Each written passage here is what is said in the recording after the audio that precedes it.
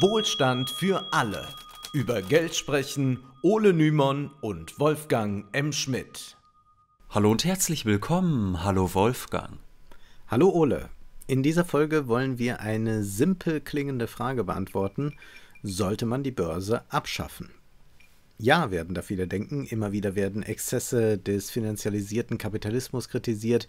Wir haben uns in der Vergangenheit schon mit dem Hochfrequenzhandel beschäftigt. Heute wollen wir aber grundsätzlicher werden. Die Frage, ob man die Börse abschaffen soll, die lässt sich auch anders formulieren, denn die ist ja ein bisschen naiv, die Macht, die haben wir hier ja eh nicht. Man kann ja auch andersrum mal fragen, wofür benötigt man eigentlich die Börse? Jetzt werden die meisten, die uns zuhören, entweder keine oder relativ wenige Aktien besitzen und vermutlich sind im Publikum nicht allzu viele CEOs von DAX-Unternehmen. Das heißt, fast alle von uns kommen unmittelbar ohne die Börse aus. Mittelbar aber erfüllt sie, wie wir gleich sehen werden, durchaus einige Funktionen. Werbung wir möchten zunächst auf zwei Veranstaltungen und ein Buch hinweisen. Sven Kalden ist ein Berliner Künstler, der sich in seinem Werk mit Banken auseinandersetzt. Jetzt ist bei Textem ein schönes Buch mit drei seiner Arbeiten erschienen. Darin geht es unter anderem um die LBB, die Lina Brake Bank des Künstlers. Kaldens Banken beschäftigen sich mit unserem widersprüchlichen Verhältnis zu Geld und Schulden, ungerechter Vermögensverteilung und dem brisanten Privileg privater Geldschöpfung. Der Link zu dem Buch, in dem es auch Beiträge von Aaron Saar und Christina von Braun gibt, findet ihr in der Beschreibung. Sven Kalden ist außerdem live zu erleben. Er stellt sein Buch am 10. November in Wörgl vor und am 11. November ist Kalden in Traunstein. Wer also ökonomisch und ästhetisch auf die Welt der Banken blicken möchte, ist dort an der richtigen Adresse. Die genauen Veranstaltungshinweise stehen in der Beschreibung. Bekanntlich ist auf dem Börsenparkett heute nichts mehr los. Zwar werden immer noch viele Börsensendungen von dort aus ausgestrahlt, aber die Zeiten, in denen dort aktiv gehandelt wurde und Anzugträger hektisch ins Telefon brüllten, sind längst vorüber. Heute wird online getradet, dennoch haben die Börsen einen festen Sitz in Deutschland beispielsweise in Frankfurt oder Stuttgart. Weitere wichtige Börsen finden wir in London, New York, Tokio, Shanghai und Shenzhen. Zunächst einmal müssen wir festhalten, dass es verschiedene Börsen gibt. Erwähnt seien die drei wichtigsten. Erstens die Warenbörse. Sie ist die älteste, die bereits am Ende des Mittelalters entstand. Hier werden Waren und Rohstoffe gehandelt. Besonders landwirtschaftliche Erzeugnisse sind wichtige Handelsgüter. Als zweites gibt es die Terminbörsen. Dort werden Warentermingeschäfte abgewickelt und es wird mit Derivaten gehandelt. Die erste dieser Art gab es in Amsterdam um 1600. Gehandelt wurde dann beispielsweise auch mit Getreide. Die dritte und heute wichtigste Börse ist die Wertpapierbörse bzw. Aktienbörse. Hier wird mit Aktien und Anleihen gehandelt und vielen anderen Finanzprodukten, auf die wir jetzt nicht eingehen. Und mit dieser Börsenform wollen wir uns heute besonders beschäftigen. Marx bezeichnete die Aktiengesellschaft als eine der letzten Formen der bürgerlichen Gesellschaft. Für ihn waren Aktiengesellschaften die höchste Stufe der Entwicklung des Kapitalismus und zugleich sind sie von Beginn des Kapitalismus an vorhanden, da Staaten schon früh Aktiengesellschaften für ihre Zwecke nutzten. Denken wir beispielsweise an die Britische Ostindien-Kompanie, die am 31. Dezember 1600 gegründet wurde und mit der der Handel mit Indien geregelt wurde. Wir sehen daran, wie sehr die Geschichte der Aktiengesellschaften mit imperialen Anstrengungen verbunden war. Noch früher gab es im Seehandel Aktiengesellschaften. Solche Seefahrten waren, kann man sich vorstellen, ein riskantes und teures Unterfangen. Deshalb taten sich oft mehrere Kaufleute zusammen, um Anschaffungs- und Personalkosten gemeinsam zu stemmen und um sich dann die Profite zu teilen. Im 17. und 18. Jahrhundert aber dominierten die schon von dir angesprochenen Handelsgesellschaften mit Staatsmonopol. Diese Aktien wurden an den europäischen Börsen, zum Beispiel in Amsterdam, gehandelt Heute hören wir ja häufig, wenn gesagt wird, an der Börse geht es ja nur noch um wilde Spekulation. Nun, das Pfui. war damals nicht unbedingt anders äh, oder eher noch schlimmer. Michael Kretke schreibt im HKWM, also im historisch-kritischen Wörterbuch des Marxismus, Aktien sind zuerst vor allem ein Spekulationsobjekt. Die fantastischsten Projekte werden lanciert bis hin zu einer Gesellschaft für den Betrieb des Perpetuum mobile, die allein dazu dienen, Aktien in großen Mengen zu verkaufen und deren Kurse in kürzester Zeit so hoch wie möglich zu treiben, bis der Schwindel platzt.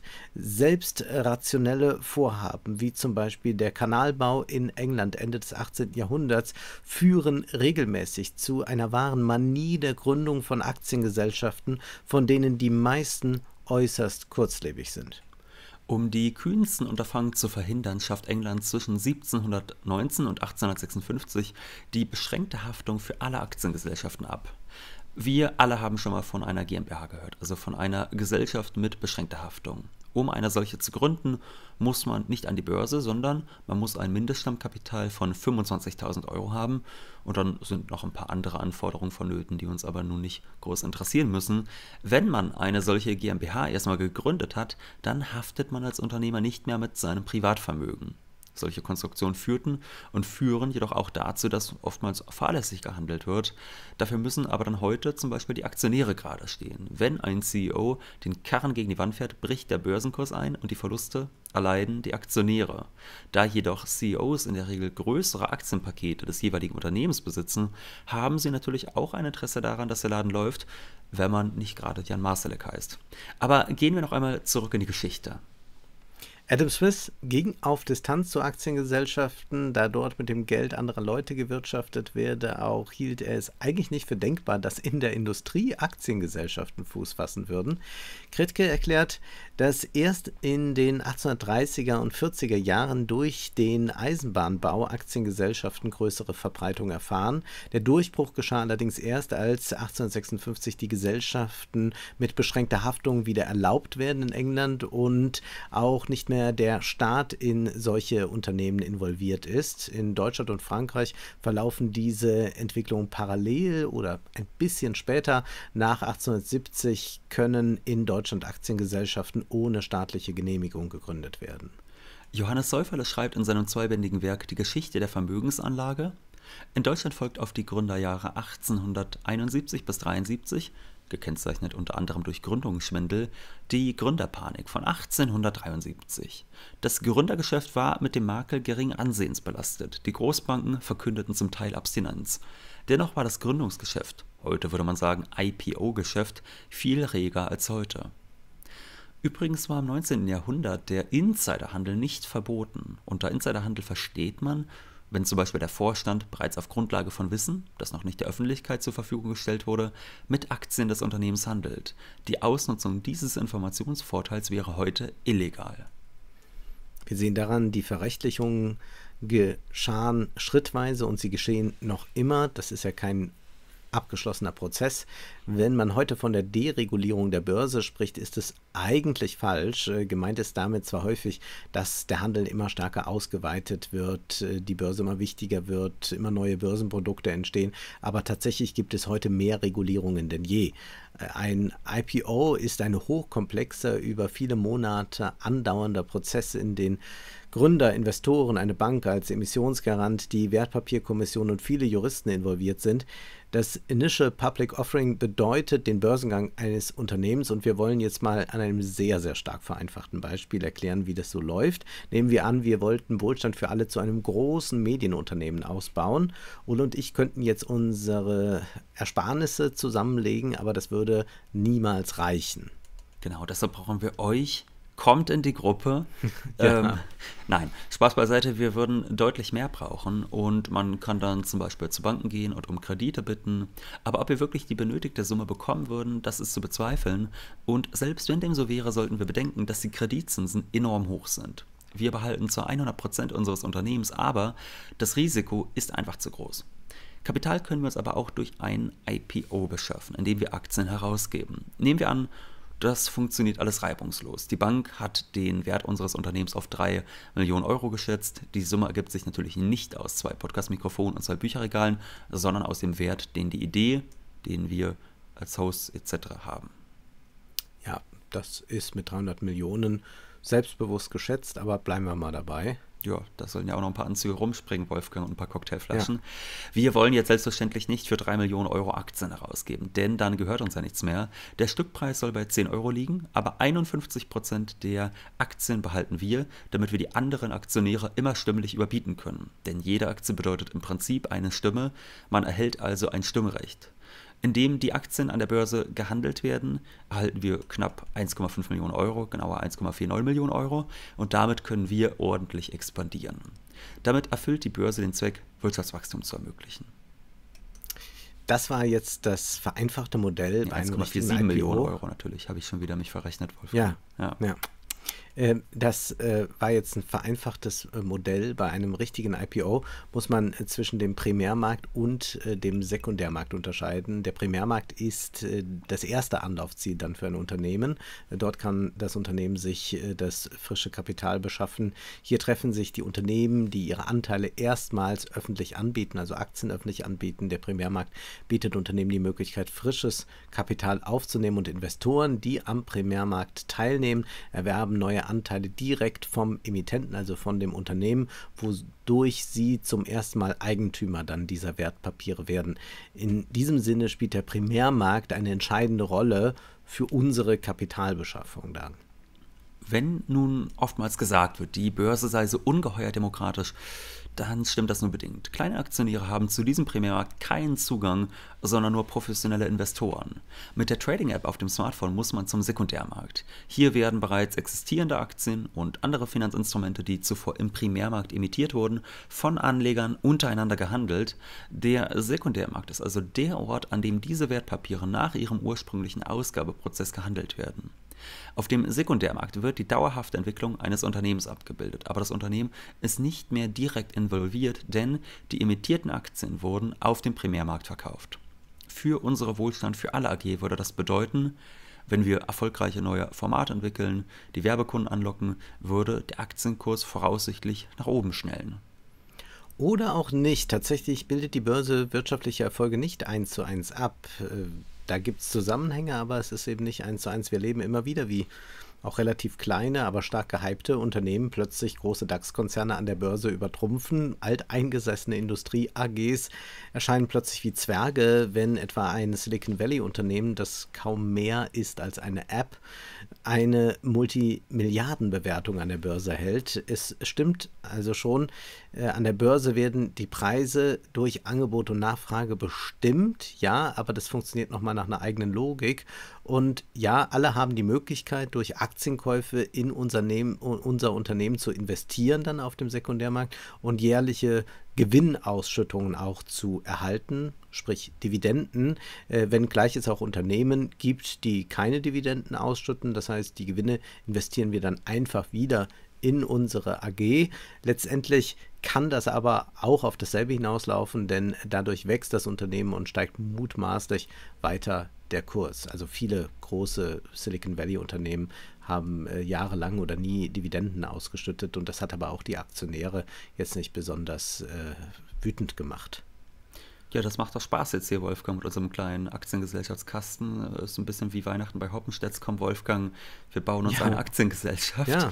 Aber ja. blicken wir mal volkswirtschaftlich auf die Gemengelage. Wenn wir gerade festgestellt haben, dass der Aktienkurs eines Unternehmens nicht unbedingt die wirtschaftliche Leistung repräsentieren muss, wie ist es denn dann, wenn wir uns den Aktienmarkt eines Landes ansehen? Johannes Säuferle zeigt in seinem Buch, dass man nicht unbedingt von einer Korrelation zwischen Aktienmarkt und Wirtschaftswachstum sprechen kann. Er bringt Beispiele.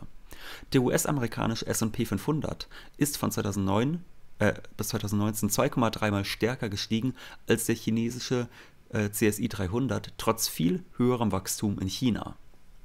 Offenbar haben die Anleger trotzdem lieber in amerikanische Konzerne investiert, obwohl es in China wirtschaftlich besser lief. Säuferle sieht das Auseinanderklaffen von Aktienmarkt und Wirtschaftswachstum auch in den Entwicklungsländern ganz stark und bietet da viele Zahlen. Er schreibt dann auch, man müsste annehmen, dass das Dividendenvolumen auf Dauer mit der Wirtschaftsleistung mitwächst und dass die Kurse auf Dauer den Dividenden folgen aber er sagt, das sei nicht der Fall. Säufele weist auch darauf hin, dass schon bei der industriellen Revolution damals in England die Kurse kaum stiegen Äh, oder blicken wir auf die 1990er Jahre nach Deutschland. Im Vorfeld der Wiedervereinigung im Spätsommer 1989 kam es zu einem Zuwachs beim DAX und äh, der steigerte sich dann äh, immer weiter bis zum Sommer 1990.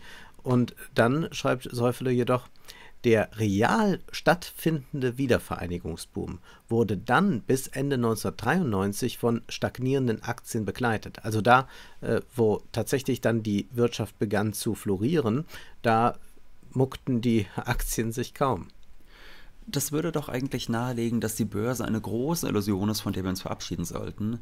Der Aktienkurs eines Unternehmens kann beispielsweise sinken, wenn das Unternehmen das versprochene Produktionsziel erreicht hat, die Anleger jedoch noch mehr erwartet haben. Das heißt, es wurde erfolgreich gewirtschaftet, aber man ist auf Seiten der Anleger davon ausgegangen, dass das ausgegebene Ziel weit übertroffen wird. Und da könnte man durchaus mal zustimmend Keynes zitieren.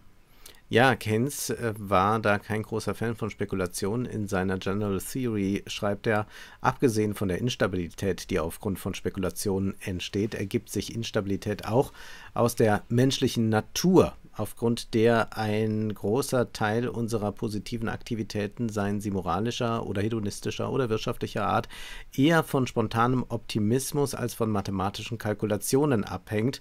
Wahrscheinlich können die meisten Entschlüsse, etwas Positives zu tun, dessen volle Wirkungen sich über viele zukünftige Tage ausdehnen werden, nur auf Lebensgeiste zurückgeführt werden, auf einen plötzlichen Anstoß zur Tätigkeit statt Untätigkeit und nicht auf den gewogenen Durch Durchschnitt quantitativer Vorteile multipliziert mit quantitativen Wahrscheinlichkeiten. Also was er damit sagen will, ist, ähm, warum was äh, besser wird oder so, das ist nicht einfach äh, durchkalkuliert und wird dann gemacht, sondern es entsteht, ja, man könnte sagen kontingent oder regelrecht beliebig und so sind dann auch die Reaktionen und die Kursveränderungen an der Börse zu werten. Ja, und äh, ich würde trotzdem sagen, dass auch das eine gewisse Rationalität hat und zwar dann nicht unbedingt so, dass man sagt, äh, ich glaube, dass dieses oder jene Unternehmen jetzt ansteigt, sondern es reicht ja auch zu sagen, ich glaube, dass andere glauben, dass das Unternehmen im Wert steigt und deshalb kaufe ich jetzt noch zu, um es diesen Leuten dann äh, wieder zu verkaufen, obwohl ich selbst weiß, dass das irgendwann wieder einbrechen wird, aber ich bin der Meinung, ich schaffe es, diesen Moment abzupassen, also die, ja. diese Erwartungen der anderen zu erwarten, das gehört natürlich auch sehr essentiell dazu. und das, also man kann sich wiederum rational in all den Irrationalitäten genau. verhalten. Genau. Und ich glaube, was äh, Keynes hier nochmal so deutlich macht, und das ist ja so ein keynesianisches Prinzip, dass man immer auf so eine äh, volkswirtschaftliche Gesamtvernunft mhm. eigentlich hinaus will. Und dann sieht er aber eigentlich auch hier äh, selbst ganz gut, dass das äh, eigentlich dann doch nicht so ist. Das auf jeden Fall, aber ich glaube, individuell kann es schon Sinn ergeben. Also ja. mal so, wenn mal wieder äh, der Bitcoin eincrasht äh, und seinen Kurs um die Hälfte verliert, kann man natürlich schon sagen, auch ich glaube durchaus, dass dann noch Trottel sind, äh, die mir das wieder abkaufen in ein paar Monaten zum doppelten Preis. Also schlage ich jetzt mal zu, was sicherlich keine Investmentempfehlung sein soll, aber was natürlich äh, als Haltung Sinn ergeben kann. Und äh, was wir hier haben, ist ja eigentlich so die Idee, dass man es nicht nur mit rationalen Agenten zu tun hat. Und dem würde der Wirtschaftswissenschaftler Eugene Farmer mit seiner berühmten Markteffizienzhypothese widersprechen. Denn die besagt, dass die Preise von Aktien alle verfügbaren Informationen widerspiegeln und dass es schwierig ist, durch Spekulation dauerhaft Gewinne zu erzielen. Man kann also selten durch Antizipation klüger sein als der Markt selbst, von einigen Glücksgriffen einmal abgesehen, Spekulation sei aber auch deshalb, anders als Keynes es darstellt, gar nicht schlimm, denn diese mache die Märkte nicht instabil, sondern es ist eigentlich nur Ausdruck dessen, was der Markt an Wissen produziert. Man könnte mit mhm. dieser Argumentation also eher sagen, die Spekulationen sind permanente Stresstests, durch die der Markt resilient wird. Nicht die Spekulanten sorgen für Instabilität, sondern sie profitieren allerhöchstens, wenn solche Instabilitäten ohnehin vorhanden sind. Vorausgesetzt wird hier, dass alle Marktteilnehmer rational agieren, was natürlich bezweifelt werden kann. Das ist in gedanklicher Nähe zu Milton Friedman, der Börsenregulierungen von Seiten des Staates ablehnte, da einzelne Akteure, also auch der Staat, nicht mehr wissen können und ohnehin die Marktteilnehmer als rationale Akteure auftreten. Wir wollen diese Frage, inwieweit jetzt alle rationale handeln oder nicht, äh, nicht weiter ausführen. Inzwischen haben auch relativ orthodoxe Wirtschaftswissenschaftler erkannt, dass der Homo economicus keineswegs so rational handelt, wie früher oft angenommen wurde. Für unsere Frage, ob die Börse benötigt wird oder weg kann, sollte dies ohnehin nicht ausschlaggebend sein. Denn rational oder irrational kann man sich als Wirtschaftsakteur auch ohne die Börse verhalten. Äh, es könnten auch ohne Börsengang Leute auf uns zukommen, die Millionen in Wohlstand für alle investieren, aber die Börse macht Schön es blöd. die, die äh, Börse macht es natürlich leichter und äh, demokratischer und man kann äh, als Investor das Risiko leichter streuen, indem man Anteile von mehreren Unternehmen erwirbt. Also große Investoren sind ja nicht nur in, bei einem Unternehmen investiert. Das heißt also, Wirtschaften, investieren, das äh, fällt ohne Börse schwer im Kapitalismus und die Börse sorgt für eine hohe Flexibilität, Transparenz, Diversifikation und produziert wichtige Daten. Man erlebt also eine Akkumulation von Wissen. Kretke schreibt, die höchste Entwicklung der auf das Kapital gegründeten Produktion ist nach Marx dann erreicht, wenn die kapitalistische Produktionsweise sämtliche Zweige der materiellen Produktion vollständig erfasst hat. Dazu gehört, dass das Kapital die Form der Aktiengesellschaft annimmt. Diese Form gestattet es, in kürzester Zeit Kapitalien von enormer Größe zu bilden. So werden Unternehmungen als kapitalistisch ermöglicht, die für einzelne Kapitalisten unmöglich waren. Und wir wissen auch, dass Marx nicht irgendwohin zurück wollte, sondern die höhere Entwicklungsstufe des Kapitalismus als wichtige Ausgangslage für den Sozialismus betrachtet hat. Und so wundert es nicht, dass Marx von der Börse fasziniert war. Kretke erklärt, Dank der Form der Aktie existiert das Kapitaleigentum neben und getrennt vom fungierenden Kapital. Das Kapital hat sich also verdoppelt, scheinbar, wie Marx betont.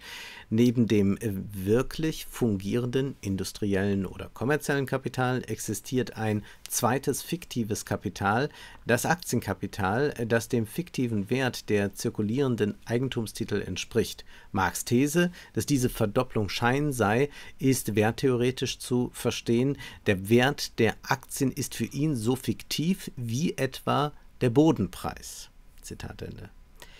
Ob die Kurse fallen oder steigen, erklärt schon Marx, ist vom wirklichen Reichtum der Gesellschaft bzw. des Landes unabhängig, oft unabhängig, wie auch der von uns zitierte Säufer da aufgezeigt hat, gibt es da keine notwendige Korrelation. Für Marx folgt aber, dass durch die Aktiengesellschaften bereits das Kapital die Form von Gesellschaftskapital erhält, wie er im dritten Band des Kapitals schreibt. Damit steht die Aktiengesellschaft am Anfang einer Vergesellschaftung des Kapitals, nämlich als Aufhebung des Kapitals als Privateigentum innerhalb der Grenzen der kapitalistischen Produktionsweise selbst. Das klingt merkwürdig, aber tatsächlich ist es so, dass man eine Trennung von Eigentum, also Aktienbesitz, und Unternehmer, Vorstand oder CEO, beobachten kann. Ohne unternehmerisch tätig zu sein, kann ich als Aktionär Unternehmensanteile besitzen. Umgekehrt ist der unternehmerisch tätige CEO durch die beschränkte Haftung und dadurch, dass ihm der Hauptanteil des Unternehmens nicht gehört, Unternehmer ohne Eigentum. Das ist jetzt sehr abstrakt gedacht, da es Großaktionäre mit besonderen Befugnissen gibt, aber grundsätzlich findet diese Trennung statt, sodass man von dort aus fragen kann, warum vergesellschaften wir nicht gleich die Unternehmen? Für Marx tritt an diesem Punkt die, wie er es nennt, Entbehrlichkeit der Bourgeoisie zutage, also der besitzenden Klasse. Und wenn man das so liest, dann äh, denkt man auch nochmal anders darüber nach, warum äh, so viele konservativ-bürgerliche dann doch eine Skepsis gegenüber der Börse haben möglicherweise ist diese äh, doch äh, meistens sehr simple Kapitalismuskritik eher äh, dessen geschuldet, dass man da eine gewisse Furcht davor hat, dass die Börse einem schon vor Augen führt, wie entbehrlich man möglicherweise äh, als Bürgerlicher ist. Hm, lassen wir das mal dahingestellt. Äh, zitieren wir lieber nochmal Marx ausführlich. Äh, der schreibt im dritten Band des Kapital, das Kapital, das an sich auf gesellschaftlicher Produktionsweise beruht und eine gesellschaftliche Konzentration von Produktionsmitteln und Arbeitskräften voraussetzt, erhält hier direkt die Form von Gesellschaftskapital, Kapital direkt assoziierter Individuen, im Gegensatz zum Privatkapital. Also er bezieht sich jetzt hier auf die Aktiengesellschaft. Und seine Unternehmungen treten auf als Gesellschaftsunternehmungen im Gegensatz zu Privatunternehmungen. Es ist die Aufhebung des Kapitals als Privateigentum innerhalb der Grenzen der kapitalistischen Produktionsweise selbst. Denn wir haben ja auch eben gesagt, wir könnten den Kredit nehmen von der Bank und dann haben wir äh, von unserer Wohlstand für alle Company 100 Prozent. Aber wenn wir Aktien und so ausgeben, dann geht das ja schon noch woanders hin. Unser, dann gehört uns das nicht mehr alles. Dennoch ist es natürlich innerhalb der Grenzen des Kapitalismus. Mhm. Also man sollte nicht vorschnell, wie es Jeremy Rifkin tut, glauben, dass mit dem Aktienbesitz mit genügend Anteilen an Pensionsfonds etc. die Arbeiterklasse gerettet ist. Wir haben das in Folge 37 anhand des Green New Deal erläutert, denn wenn alle Aktien haben, verwandeln sich erst einmal alle nur an Kleinkapitalisten. Die Vergesellschaftung bleibt also auf halber Strecke stehen. Angeeignet wird immer noch fremde Mehrarbeit, wenngleich die Kleinaktionäre daran jetzt auch profitieren, aber das ändert natürlich nichts daran, dass ein großer Teil des Aktienvermögens äh, vor allem bei denen liegt, die eh schon viel haben. Ja, ja. Also da ähm, muss man sich keine Illusionen hingeben. Und wir haben ja in einer Literaturfolge mal über Otto der Großaktionär gesprochen. Da haben wir gesehen, wie diese kleinen Aktionäre im Prinzip an ihrem eigenen Ast sägen. Der Aktienkurs steigt in der Regel, wenn ein Unternehmen Lohnkosten senken kann. So profitieren die kleinen Aktionäre durch höhere Dividenden, verlieren aber durch schrumpfende Reallöhne. Wir sehen daran aber, inwieweit die Aktie schon ein bisschen Vergesellschaftung ermöglicht. Die Früchte der Mehrarbeit landen auch beim Kleinaktionär. Marx sieht in den Aktiengesellschaften ein, wie er sagt, notwendigen Durchgangspunkt zur Rückverwandlung des Kapitals in Eigentum der Produzenten, aber nicht mehr als das Privateigentum vereinzelter Produzenten, sondern als das Eigentum ihrer als Assoziierter, als unmittelbares Gesellschaftseigentum.